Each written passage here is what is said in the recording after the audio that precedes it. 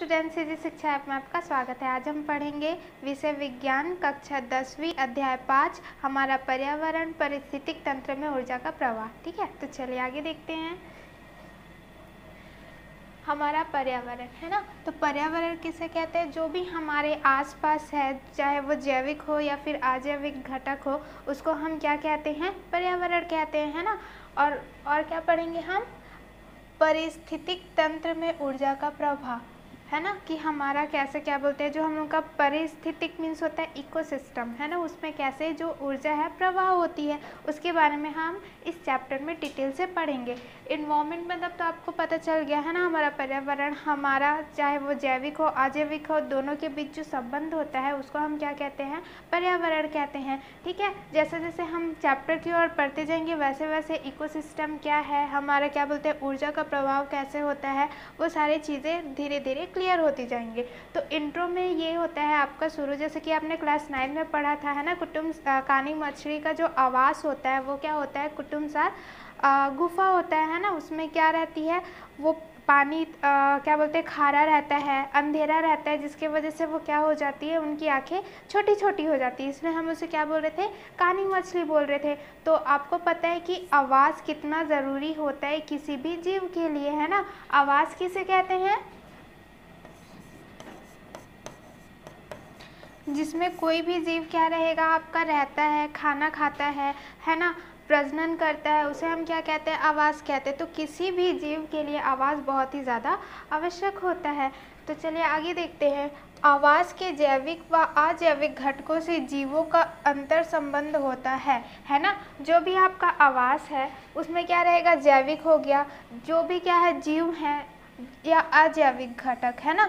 आपका जो अजैविक घटक हो गया, जैसे कि क्या हो गया? आपका पानी हो गया है वो सब क्या आ जाएगा? आपका अजैविक अजैविक घटक में आ जाएगा, जो जी, इन दोनों के बीच क्या रहता है? अंत क्या बोलते हैं? संबंध रहता है। वो जो उनके जीवन को प्रभावित करता है और वही क्या रहेगा, उनके जीवन को प्रभावित करता है। जैसे कि जस्ट अभी हमने देखा था कि पानी खारा रहता था, अंधेरा रहता था, जिसके वजह से क्या होती थी, उसकी जो नॉर्मल आइज़ होनी चाहिए, आँखें होनी चाहिए, वो क्या हो जाती थी छोटी छोटी हो जा रही थी। तो किस प्रकार से दोनों के बीच जो संबंध रहता है, उनके जीवन शैली को क्या करता है, प्रभावित करता है। आवास में घटकों से अंतर संबंध के फलस्वरूप विविध जीवों का अनुकूलन विविध प्रकार से होता है। ठीक है? अनुकूलन। अनुकूलन मीन्स क्या होता है? एडेप्टेशन इसका मतलब ये है कि आप देखेंगे जो आप आ, क्या बोलते हैं? पोलर रीजन में जाएँगे, है ना? पोल्स में जाएँगे अर्थ की क्या रहेंगे? नॉर्थ पोल में जाए या साउथ पोल में जाए, वो बहुत ज़्यादा ठंडा रहता है। तो ठंडा इलाका है तो वहाँ पर के जो भालू रहते हैं, उनका जब आप क्या करेंगे स्किन देखेंगे फर देखेंगे तो वो क्या होता है, बहुत मोटा होता है, सफ़ेद होता है है ना? तो जहाँ पर वो रहते हैं, वहीं पर क्या होता है, उनके अनुकूल होने के लिए, वहाँ पर रहने के लिए अपने आप में चेंजेस कर लेते हैं। उसी को क्या हम बोलते हैं, अनुकूलन बोलते हैं। तो वहीं पर बोला गया है आवास में घटकों से अंतर संबंध के फलस्वरूप है ना? दोनों के बीच क्या रहेगा? अंतर संबंध रहेगा और विविध जीवों का अनुकूलन विविध प्रकार से होता है। जहाँ गर्मी वाला जगह रहेगा तो उसका जो फल रहेगा, एकदम क्या रहेगा? कम रहेगा, है ना? ठंडी इलाके में क्या रहेगा? बहुत ज़्यादा क्या बोलते हैं, फर रहेगा। अगर हम क्या कर रहे हैं, सिर्फ़ भालू को देख रहे हैं तो। तो यहाँ पर क्या रहेगा? अनुकूल विविध प्रकार से होता रहता है अपने अनुकूलन, है ना? क्योंकि उनको उस आवास में रहना है और उसके लिए उनको जो भी चीज़ें करनी पड़ती हैं चेंजेस लानी पड़ती है, वो सारी चीज़ें उसमें चेंजेस लाते हैं। ठीक है? आवास और अजैविक घटकों के बीच के अंतर संबंध का अध्ययन करने के लिए एक गतिविधि करते हैं। तो दोनों के बीच है ना जो संबंध है, उसको और अच्छे से समझने के लिए हम क्या करेंगे? एक क्रियाकलापन करेंगे, जिससे आपको क्या समझ में आ जाएगा कि एक दूसरे पर वो कैसे निर्भर रहते हैं। तो चलिए देखते हैं, ठीक है? हम सबसे पहले किसके बारे में पढ़ेंगे? अंतर संबंध का अध्ययन स्टडी ऑफ़ इंटर रिलेशनशिप की, कैसे आपके अजैविक घटक हमारे बीच कैसे आ, क्या बोलते हैं संबंध रखते हैं। तो सबसे पहले हमको क्या करना है आपको कोई सा भी इलाका छाट लेना है। चाहे आप गार्डन ले सकते हो जंगल ले सकते हो जहाँ पर भी आप क्या करो एक से दो बार दिन में जा सको एक सुबह और एक शाम को। ठीक है? वहाँ पर आपको जाना है और क्या करना है one metre into one metre है ना? इस तरीके से क्या करना है एक जगह को चिन्ह कर लेना है। कहीं पर भी, जैसे आप घर के बाहर भी कर सकते हैं, घर के ऊपर कर सकते हैं गार्डन में कर सकते हैं, जहाँ पर आप डेली जा सके, आपको इस प्रकार से क्या करना है? चिन्ह लगा देना है और फिर वहाँ पर देखना है कि कितने पेड़ हैं, ठीक है, जितने ग्रास हैं। अगर यहाँ पर ग्रास क्या है आपका? वन थाउज़ेंड है या फिर हंड्रेड है मैक्सिमम तो आप हंड्रेड लिख सकते हैं। वहाँ पर जितनी चीटियाँ हैं, वहाँ पर आप क्या कर सकते हैं, उसका नंबर लिख सकते हैं। ये सिर्फ़ मैं एज्यूम कर रही हूँ कि इतना हो सकता है, ठीक है? इतना है, मैं नहीं बोल रही हूँ। तो यहाँ पर आपको क्या करना है, चीज़ें देखनी है, मिट्टी खोदनी है। मिट्टी खोद के आप देख सकते हैं कि कितने और जीव हैं कि नहीं है उसके अंदर, ठीक? ये सारी चीज़ें आपको करनी है। फिर क्या करना है, सुबह भी जाना है, फिर देखना है कि क्या बोलते हैं, कितने चीटियाँ हैं फिर क्या शाम तक आते आते क्या चीटियाँ उतनी थी, नहीं थी? ये सारी चीज़ों को आपको डेली जाके नोट करना है, ठीक है? और इसी को देख के कुछ प्रश्न है जिसको आपको उत्तर देना है। क्या आपको चिन्ह चिन्हांकित जगह पर कोई खाद्य श्रृंखला, खाद्य जाल नज़र आया? ठीक है तो जब हमने यहाँ पर किया था तो यहाँ पर आपको कुछ खाद्य श्रृंखला या फिर खाद्य जाल, है ना? तो दोनों में अंतर क्या है? खाद्य जाल क्या रहेगा? आपको पूरे जाल की तरह रहता है। और खाद्य आपका क्या बोलते हैं? श्रृंखला, ठीक है? एक चैन की तरह रहेगा। जैसे अगर हम गार्डन का ले रहे हैं तो गार्डन में क्या रहता है? ग्रास रहता है। है ना? ग्रास को कौन खाएगा? आपका ग्रास ऑपर खाएगा। ग्रास ऑपर को कौन खा सकता है? फ्रॉक खा सकता है। फ्रॉक को कौन खाएगा? स्नैक खाएगा। स्नैक को कौन खाएगा? हॉक खाएगा। ठीक है तो इस प्रकार का क्या ये सिंपल सा क्या है आपका? चैन बना हुआ है, श्रृंखला बना हुआ है तो इसी को हम लोग क्या बोलते हैं? खाद्य श्रृंखला बोलते हैं। खाद्य जाल किसको बोलेंगे? यहीं पर ग्रास को कौन खा रहा है? ग्रास ऊपर खा रहा है। आंट भी खा सकता है रैबिट भी खा सकता है। फिर रैबिट को कौन खा सकता है? आपका स्नैक खा सकता है है ना? तो इस प्रकार से क्या होता है? पूरा जाल बन जाता है। मकड़ी का जाल जैसे बनता है, वैसे खाद्य क्या रहता है? पूरा जाल बन जाता है। उसको हम क्या बोलते हैं? खाद्य जाल बोलते हैं। तो जो हमने चिन्ह किया हुआ था, आपने जहाँ पर जो चिन्ह लगाया हुआ था वन इंटू वन मीटर का तो क्या उसमें आपको कुछ खाद्य श्रृंखला या खाद्य जाल मिलेंगे? तो खाद्य जाल तो नहीं, लेकिन खाद्य श्रृंखला मिल सकते हैं। वहाँ पर क्या मिलेगा? आपको ग्रास मिलेगा। है ना? ग्रास को कौन खाएगा? एंड खा सकते हैं। है ना? और ग्रास को कौन खा सकता है? स्पाइडर भी खा सकते हैं। तो इस प्रकार से क्या है? आप देख सकते हैं कि कुछ ना कुछ को खा स्पाइडर को कौन खा जाएगा? लिजार्ड खा जाएँगे, है ना? इसको भी कौन खा जाएगा? लिजार्ड खा जाएँगे। इस प्रकार से क्या रहता है आपका? आपको खाद्य जाल और खाद्य श्रृंखला दोनों मिल सकते हैं। और ग्रास को कौन खा सकता है बताइए? ग्रास हॉपर खा सकते हैं। फ्रॉक खा सकता है है ना? तो इस प्रकार से फ्रॉक को कौन खाएगा? लिज स्नैक अगर गार्डन में आ गया, है ना? इस प्रकार से क्या हो सकता है? आपका खाद्य श्रृंखला या फिर खाद्य जाल बन सकता है। सेकंड क्या पूछ रहा है क्या पूरे बगीचे में कोई खाद्य श्रृंखला, खाद्य जाल नज़र आया? अब हमने क्या किया है? जो आपने चीन किया था, उसको ना छोड़ के अगर आप गार्डन में कर रहे हैं तो क्या वहाँ पर भी आपको खाद्य श्रृंखला या फिर खाद्य जाल समझ आएगा? तो हम ये एक एग्ज़ाम्पल ले सकते हैं कि हाँ हमको खाद्य जाल नज़र आ सकता है। ठीक है? आपके इस इलाके में कौन कौन से जैविक व अजैविक घटक हैं? तो यहाँ पर आपको देखना है कि कौन सा जैविक है कौन सा अजैविक है। तो आपका जो मिट्टी हो जाएगा, जो पानी हो जाएगा, वो क्या हो जाएगा? आपका जैविक हो जाएगा। अजैविक में क्या आ जाएगा? आपका जो पौधे हैं, जितने भी आपके क्या हैं, जीव हैं, वो किसमें आ जाएँगे? आप के सॉरी जैविक में आएँगे और अजैविक में कौन आएगा? पानी आ जाएगा और मिट्टी आ जाएगा। ठीक है? फिर सुबह और शाम के जैविक व अजैविक घटकों में क्या अंतर है? ठीक है? तो यहाँ पर क्या रहेगा? जैविक इधर से उधर जाते रहेंगे। अजैविक क्या है? वहीं पस रहेंगे, है ना? जितना मिट्टी है, उतना मिट्टी वहीं पस रहेगा। जितना पानी है, उतना पानी वहीं पस रहेगा। लेकिन जो जैविक है, वो क्या रहेंगे?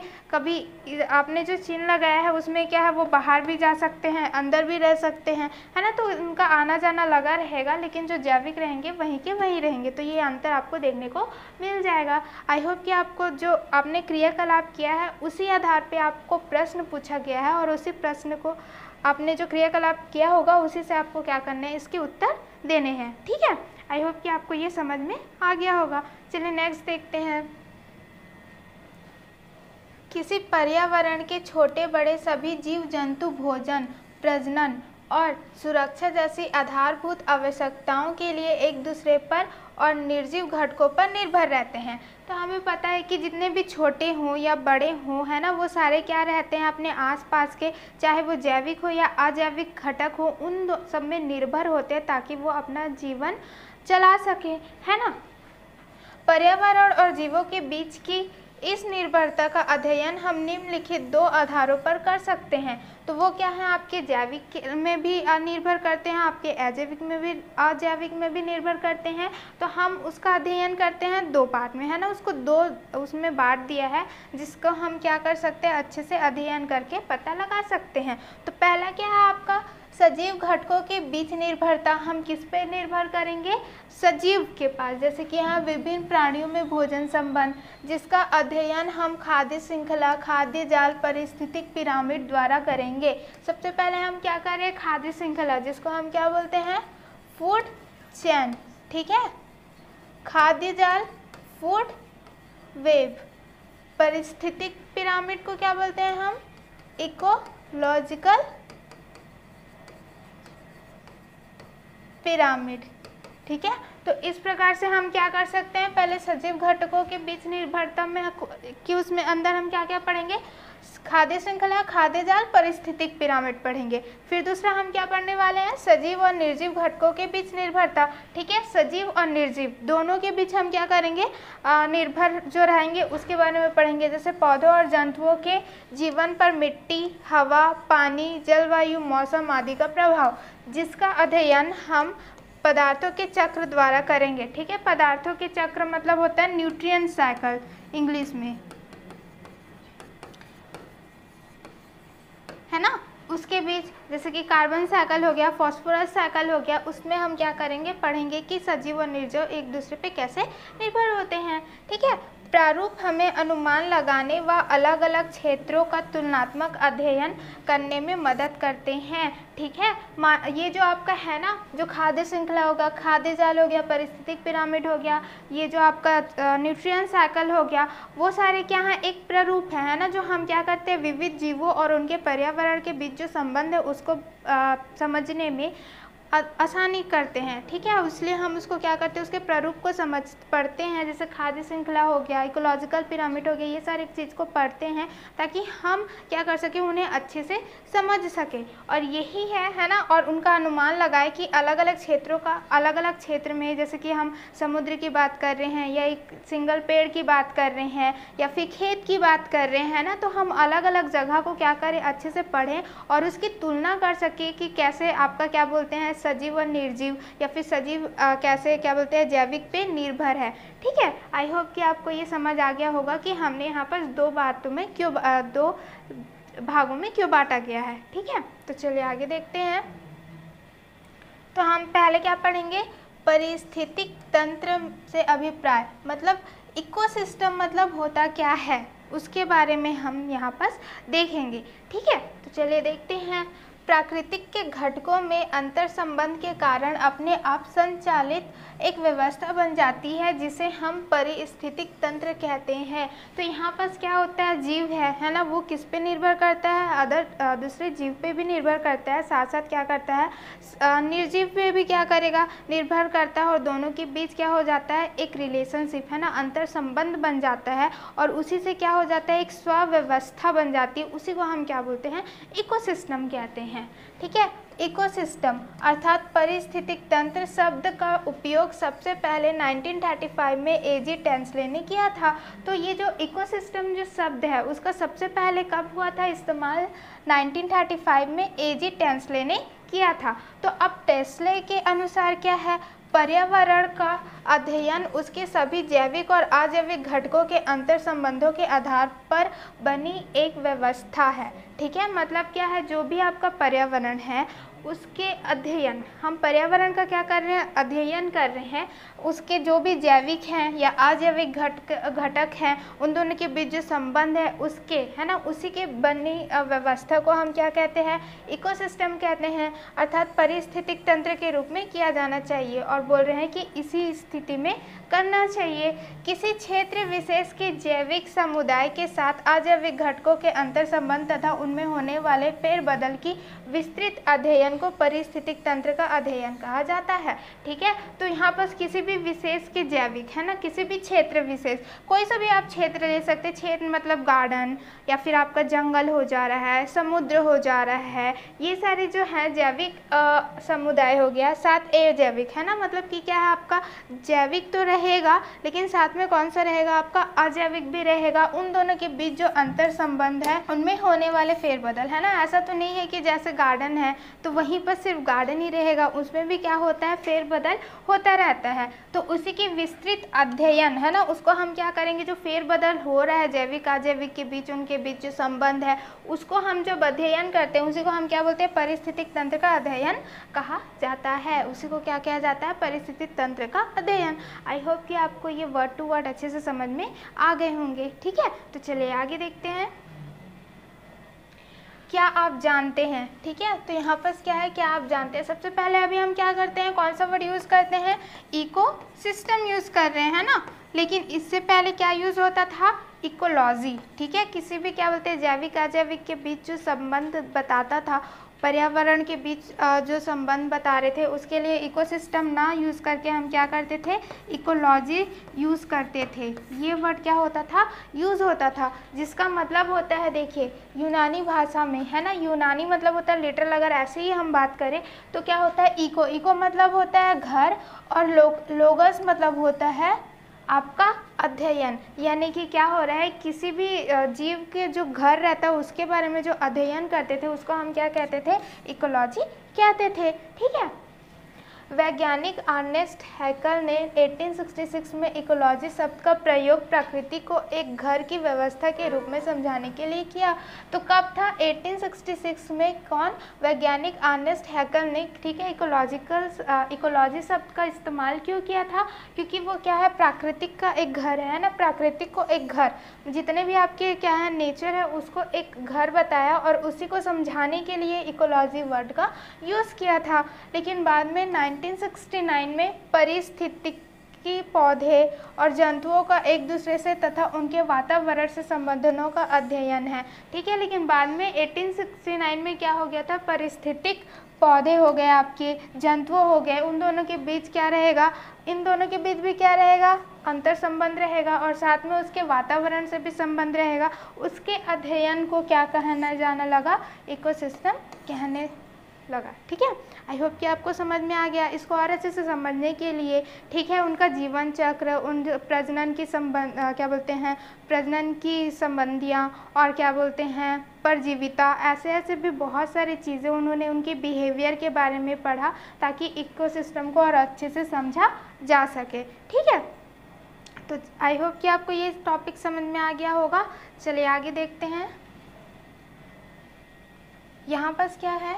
धान के खेत का परिस्थितिक तंत्र, हम किसके बारे में पढ़ेंगे आप? हम परिस्थितिक तंत्र पढ़ेंगे किसका? एक राइस फार्म, है ना, खेत में। क्या है, धान का खेत है, जैसे आप देख सकते हैं, यहाँ पर धान का खेत है। ये सारे क्या हैं, धान है, खेत है, ठीक है? तो इससे क्या है, आपको ध्यान से देखना है और इसके में एक सवाल पूछा गया है, ठीक है? कि आपने धान का खेत देखा होगा। अपने अनुभव व चित्र तीन को देखकर बताए कि धान के खेत में कौन कौन से अजैविक घटक हैं। ठीक है तो यहाँ पर आपको क्या करना है? चित्र तीन देखना है। और आपने देखा ही होगा, है ना, धान का खेत? तो उसमें बताना है कि अजैविक घटक कौन कौन से हैं। तो क्या हो जाएगा? आपका पानी हो जाएगा, आपका जो मिट्टी है है ना, ये सारी चीज़ क्या हो जाएँगे? अजैविक हो जाएँगे। अगर आपका सूर्य किरण है, वो भी आपका क्या हो जाएगा? अजैविक में आ जाएगा। ठीक है? अब क्या बोला है आपको? नेक्स्ट धान के खेत के खाद्य जाल का एक उदाहरण चित्र चार में दिया गया है। अपने साथियों से चर्चा करके लिखिए कि अजैविक घटकों पर जीवन की क्या कोई निर्भरता है? कैसे? ठीक है? तो यहाँ पर आप चित्र चार मीन्स ये वाला। ठीक है? आपको देखना है और पता लगाना है कि क्या जो जैविक है, उसमें अजैविक घटकों की आधार है, ज़रूरी है कि नहीं है, ठीक है? तो हाँ ज़रूरी है। जैसे कि आप यहाँ पर देख सकते हैं कि ये जो धान है या फिर जो भी आपका धान का पेड़ है, वो किसमें लगा हुआ है? मिट्टी में लगा हुआ है। अगर मिट्टी में नहीं लगेगा तो फिर वो कहाँ उगेगा? ठीक है? उसको पानी भी चाहिए। पानी भी क्या है? आपका अजैविक घटक है। तो यहाँ पर ये साबित होता है कि आपको जैविक को जीने के लिए अजैविक घटकों की ज़रूरत होती है। ठीक है? फिर नेक्स्ट क्वेश्चन क्या है? इस खाद्य जाल में कौन कौन सी खाद्य श्रृंखलाएँ हैं? कोई पाँच छाट कर लिखिए। तो यहाँ पर आपको दिया हुआ है है ना? यहाँ पर पूरा आपको खाद्य श्रृंखला दे दिया गया है। इसमें आपको क्या करना है? खाद्य सॉरी खाद्य जाल दे दिया हुआ है। इसमें आपको क्या करना है? कोई पाँच ठो खाद्य श्रृंखला बनाना है। तो हम यहाँ से देख सकते हैं, देखिए क्या है, धान है है ना? पौधा है। तो यहाँ पर हम लिख सकते हैं पौधा। पौधा को कौन खा रहा है? देखिए खरगोश। तो यहाँ पर हम क्या लिख देंगे? खरगोश। खरगोश को कौन खा रहा है? लोमड़ी। ठीक है? तो ये आपका क्या हो जाएगा? एक खाद्य श्रृंखला बन जाएगा। ठीक है? सेकंड देखते हैं तो ये वाला ले लेते हैं। फिर से स्टार्ट कहाँ पर हो रहा है आपका? पौधा। ठीक है? पौधा को कौन खा रहा है? गिलहरी।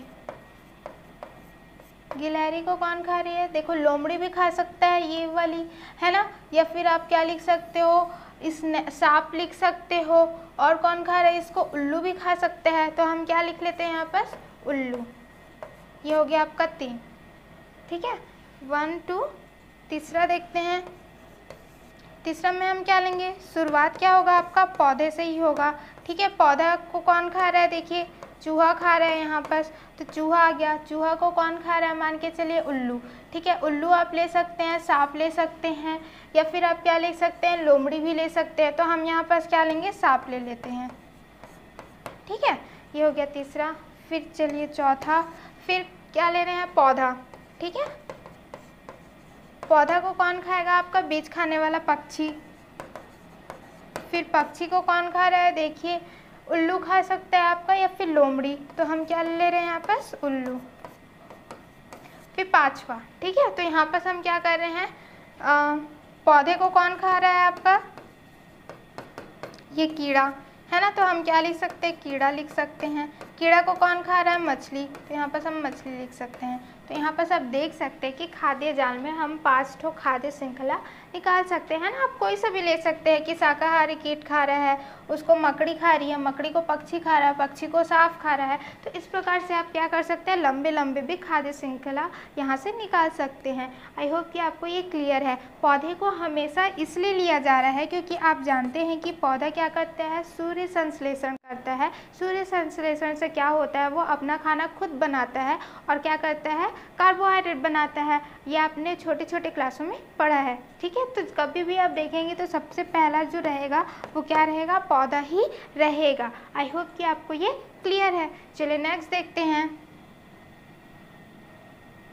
ठीक है? खाद्य श्रृंखला का विस्तृत अध्ययन करने जब 0.1 हेक्टर 1000 मीटर स्क्वायर क्षेत्रफल में जीवों की संख्या का पता लगाया गया तो उनके बीच का संबंध कुछ इस प्रकार मिला। ठीक है तो यहाँ पर ये बोल रहा है कि खाद्य श्रृंखला उनको जानना था तो उन्होंने क्या किया था? One zero point one hectare क्षेत्रफल ले लिया और वहाँ पर क्या कर लिया? वहाँ पर जीवों की संख्या का पता लगाया। तो उनको क्या मिला कि यहाँ पर कितने धान हैं आपके? एक लाख धान है, ठीक है? एक लाख धान को कितने खा, चूहे खा रहे हैं? एक हज़ार चूहे खा रहे हैं। एक हज़ार चूहे को कौन खा रहा है? पचास सांप खा रहे हैं और यहाँ पर पचास सांप को कौन खा रहा है? पाँच बाज खा रहे हैं, ठीक है? तो इसमें से ये वाला जो उन्होंने देखा, उसके अध्ययन किए और उससे क्या किया? कुछ क्वेश्चन निकाला है जिसको हमको आंसर करना है। तो पहला क्वेश्चन क्या था? उपरोक्त खाद्य श्रृंखला में कौन कौन से जीव उपभोक्ता है, ठीक है? तो यहाँ पर बोल रहा है कि उपरयुक्त खाद्य श्रृंखला में कौन कौन से जीव उपभोक्ता हैं? तो सबसे पहले हम यहाँ पास दो पढ़ेंगे। पहला तो क्या रहेगा? उत्पादक। और दूसरा रहता है क्या? आपका उपभोक्ता। ठीक है? उपभोक्ता किसको बोलेंगे? जो उत्पादक पे क्या रहेगा? निर्भर रहेगा। ठीक है? जैसे कि उत्पादक जो खुद उत्पन्न कर सकता है जैसे कि आपका क्या है? जितने भी पेड़ पौधे हैं वो क्या करते हैं? अपना खाना खुद बनाते हैं। तो वो क्या कर रहे हैं? उत्पाद आ, आ, क्या बोलते हैं? उत्पन्न कर रहे हैं खाना को। इसलिए उसको क्या कहा जाता है? उत्पादक कहा जाता है। और इंग्लिश में क्या कहा जाता है उसको?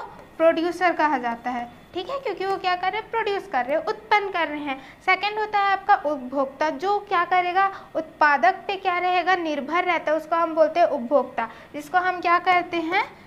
इंग्लिश में कंज्यूमर क्यों क्योंकि वो क्या कर रहे हैं, जो भी चीज़ें क्या कर रहे हैं, उपभोग क्या बोलते हैं उत्पादक उत्पन्न कर रहे हैं, उसको क्या करता है, खाता है कंज्यूम कर रहा है। इसलिए उसको क्या बोला जाता है कंज्यूमर और हिंदी में क्या बोला जाता है, उपभोक्ता। आई होप कि आपको दोनों में कोई भी डिफरेंस नहीं है, ठीक है? तो यहाँ पर बोला गया है कि यहाँ पर कौन कौन से जीव उपभोक्ता है, ठीक है? तो आप देख सकते हैं चूहा हो गया, सांप हो गया, बाज हो गया। ये क्या है आपके उपभोक्ता में आएँगे? क्योंकि वो किस पे निर्भर है आपके पौधे पे? और पौधा क्या है आपका?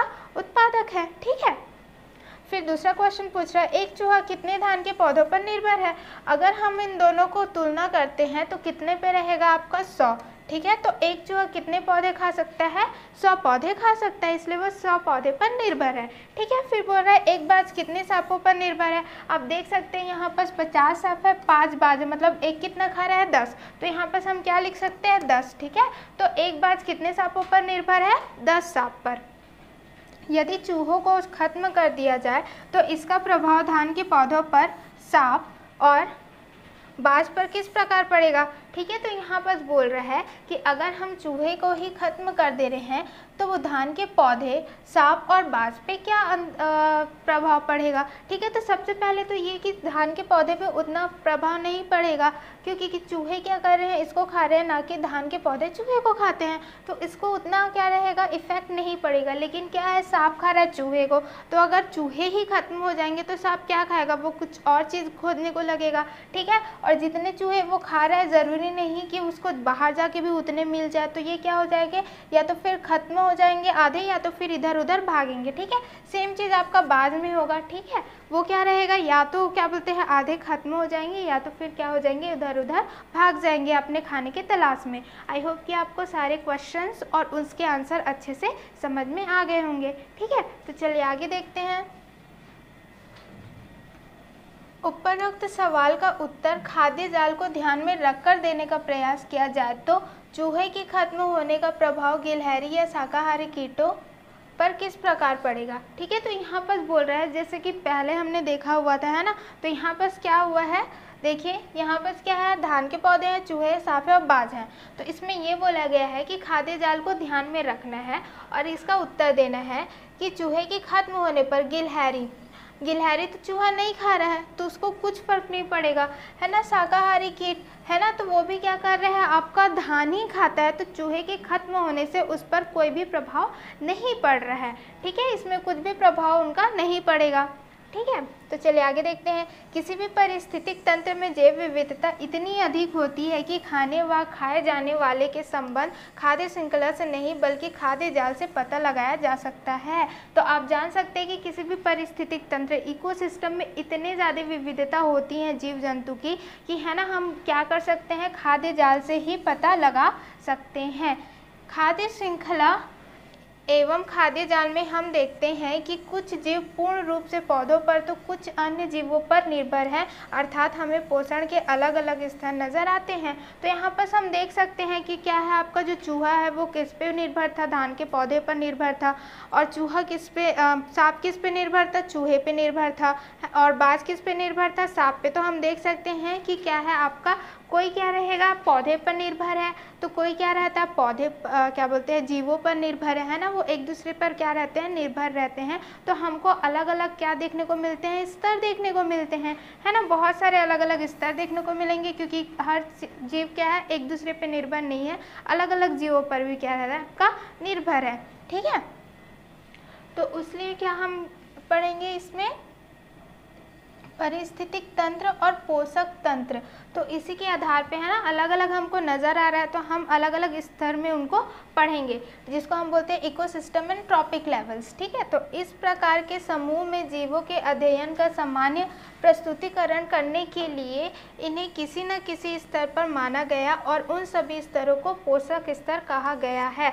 जैसे, ठीक है, जैसे कि यहाँ पर हमने क्या देखा था? धान देखा था, जो क्या थे? उत्पादक थे, है ना? फिर हमने क्या देखा था? आपका प्रोड्यूस सॉरी उपभोक्ता देखा था, जैसे कि चूहा हो गया, सांप हो गया, ये सारे क्या हैं, आपके उपभोक्ता में आते हैं तो सब क्या रहते हैं अलग अलग क्या है स्तर में रहेंगे तो उनको हमको अध्ययन करने में क्या रहेगा, बहुत इजी जाएगा, इसलिए हम उसको अलग अलग क्या करते हैं, प्रस्तुतिकरण करते हैं और अलग अलग क्या करेंगे, पोषक स्तर पे बांट देते हैं, जैसे कि यहाँ पर देखते हैं, ठीक है? उसको क्या बोला गया? पोषक स्तर बोला गया। तो सबसे पहले है आपका उत्पादक, ठीक है? जिसको हम बोलते हैं प्रोड्यूसर जिसको हम प्रथम पोषक स्तर बोलते हैं फ़र्स्ट ट्रॉपिकल लेवल ठीक है? इंग्लिश में क्या बोलेंगे? ट्रॉपिकल लेवल और हिंदी में क्या बोलेंगे? पोषक स्तर। उत्पादक उत्पादन कर रहे हैं तो यहाँ पर पौधे हो गए। अगर हम धान ले रहे हैं तो यहाँ पर क्या हो जाएगा? धान हो जाएगा, ठीक है? फिर आता है आपका प्राथमिक उपभोक्ता। फिर अब उसको पहला खाने वाला। अब पौधे को कौन खाएगा? मान के चलिए ग्रास ओपर हम ले रहे हैं। क्या ले रहे हैं? ग्रास ओपर तो वो क्या हो जाएगा आपका? ये क्या हो जाएगा आपका? पहला प्राइमरी कंज्यूमर या फिर प्राथमिक उपभोक्ता हो जाएगा, क्योंकि वो क्या कर रहा है? प्रथम, पहला किसको खा रहा है? ग्रास, धान को खा रहा है। इसलिए वो क्या हो जाएगा? ग्रास होपर हो जाएगा। ठीक है? और इसको हम लोग क्या बोलेंगे? द्वितीय पोषक स्तर में आएगा। ये क्या में आएगा? सेकेंड ट्रॉपिक लेवल में आएगा। ठीक है? ट्रॉपिक लेवल अलग है जिसको हम क्या करेंगे? नीचे में शो करते हैं। ठीक है? ये पहला हो गया। ये फ़र्स्ट ट्रॉपिक लेवल हो गया। उसके ऊपर वाला जो आएगा, वो दूसरा ट्रॉपिक लेवल आ जाएगा। फिर उसके उस बाद थर्ड ट्रॉपिक लेवल फिर उसके बाद फोर्थ ट्रॉपिक लेवल इस तरह से क्या आएगा? आपका बढ़ते जाएगा। ठीक है? अब ये हो गया आपका प्राथमिक उपभोक्ता।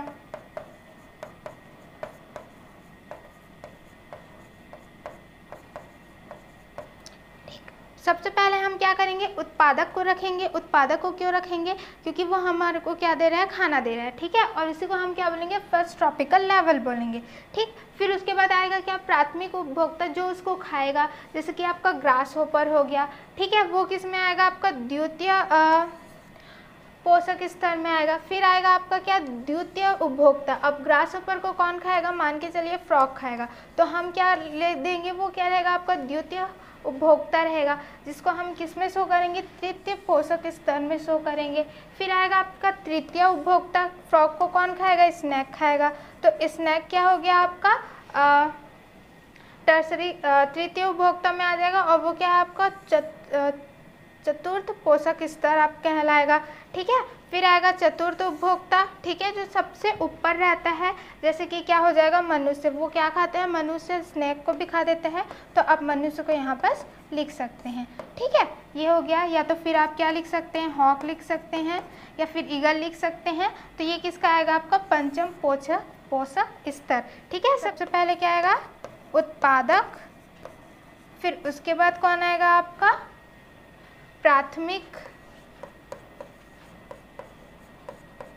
उपभोक्ता। फिर क्या आएगा द्वितीय? ठीक है? फिर क्या आएगा आपका तृतीय? फिर चतुर्थ।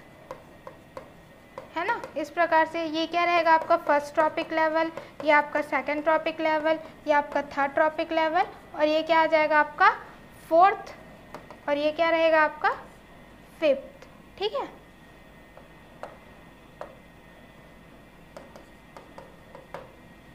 आई होप कि आपको क्लियर है कि किसको क्या बोलते हैं। ये आपका क्या रहेगा? उपभोक्ता रहेगा। जो उपभोक्ता है वो फ़र्स्ट ट्रॉपिकल लेवल में रहेगा। ठीक है? जो आपका क्या बोलते हैं? प्राथमिक उपभोक्ता है, वो आपका सेकंड ट्रॉपिक लेवल में रहेगा। जो आपका क्या है? द्वितीय उपभोक्ता है, वो थर्ड ट्रॉपिक लेवल में रहेगा। जो आपका क्या है? तृतीय उपभोक्ता है, वो फोर्थ क्या रहेगा? आपका ट्रॉपिक लेवल में रहेगा। जो चतुर्थ उपभोक्ता है, वो क्या रहेगा? आपका फिफ्थ ट्रॉपिकल लेवल में रहेगा। ठीक है, इस प्रकार से आप क्या करेंगे, लिखेंगे। तो यहाँ पास क्या आ जाएगा आपका? मान के चलिए एग्ज़ाम्पल यहाँ पास आ जाएगा ग्रास यहाँ पास आ जाएगा आपका ग्रास ऑपर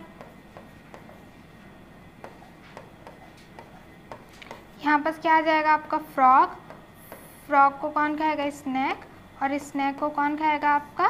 फिफ्थ में हॉक ठीक है तो इस प्रकार से आप देख सकते हैं कि कौन सा ट्रॉपिक लेवल है।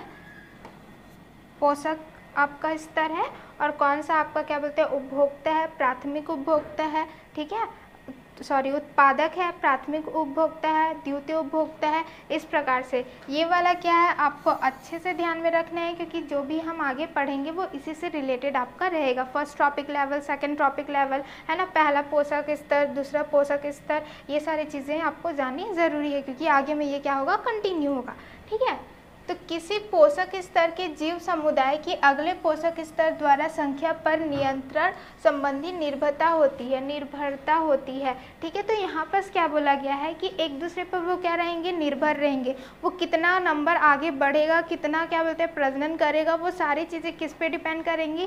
पहले आपके स्तर पे डिपेंड करती हैं। जैसे कि यहाँ पर क्या है? वन लाख ग्रास है तो उसको कितने खा रहे हैं? थाउज़ेंड आ, क्या बोलते हैं चूहे खा रहे हैं। ठीक है अगर वहीं पर वो क्या रहेगा वन थाउज़ेंड आपका क्या रहेगा पौधा रहेगा तो उसको तो दस चूहे खाएँगे है ना? तो यहाँ पर ये जाना जाता है जो पहला स्तर है उसमें क्या रहता है दूसरा स्तर क्या रहता है निर्भर रहता है। ठीक है? आई होप कि आपको ये क्लियर हो गया होगा। परिस्थितिक तंत्र में ऐसे जीव भी होते हैं जो अन्य जीवों के अपशिष्ट पदार्थों और मित्र मृत जीवों के शरीर से अपना भोजन प्राप्त करते हैं। हाँ हमको पता है कि ऐसे आपको बहुत सारे जीव जंतु मिल जाएँगे कि दूसरों को खाते हैं और उसके जो मृत रहते हैं, उसको भी खाते हैं। ये क्या कहलाते हैं आपके? अपमाजर मर्जक जैसे कम्मा, तिलचट्टा आदि, ठीक है? इसका मतलब होता है इसके वेंजर्स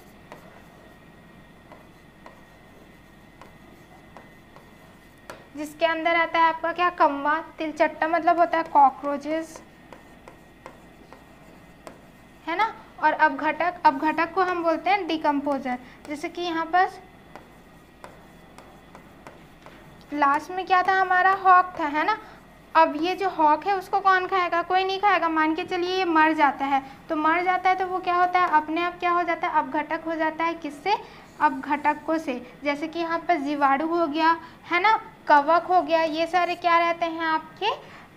डिकम्पोजर्स रहते हैं, वो क्या करते हैं, अपघटन करने में आपकी मदद करते हैं, इसलिए उसको क्या कहला जाता है, अपघटक कहलाते हैं, ठीक है? जीवाणु मतलब होता है आपका बैक्टीरिया और कवक मतलब होता है आपका फंगी ठीक है? तो ये सारी चीज़ें आपकी हेल्प करती है, किसी भी, जैसे ये हॉक है, उसको क्या करेंगे, अपघटन करने में वो मदद करते हैं आपके। आई होप कि आपको ये इतना क्लियर है। ये आपको ध्यान में रखना है कि जो दूसरा स्तर रहता है, वो पहले स्तर पे क्या रहता है, पूरी तरह से निर्भर रहता है कि उसकी संख्या कितनी होगी, ठीक? चलिए नेक्स्ट देखते हैं। अब यहाँ पर है कि जो दूसरों पे डिपेंड रहते हैं, सड़े गले खाते हैं, उसको हम कौन से स्तर पे रखेंगे? तो हम कुछ इस स्तर पे रख सकते हैं, ठीक है? जैसे कि प्रथम पोषक स्तर में क्या रखेंगे? पौधे रखेंगे। द्वितीय पोषक स्तर में क्या रखेंगे? शाकाहारी, जितने भी शाकाहारी हैं, वो दूसरे में आ जाएँगे।